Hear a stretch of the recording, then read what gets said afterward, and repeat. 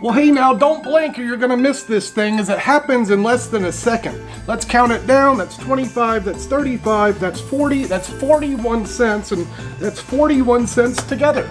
Did you blink?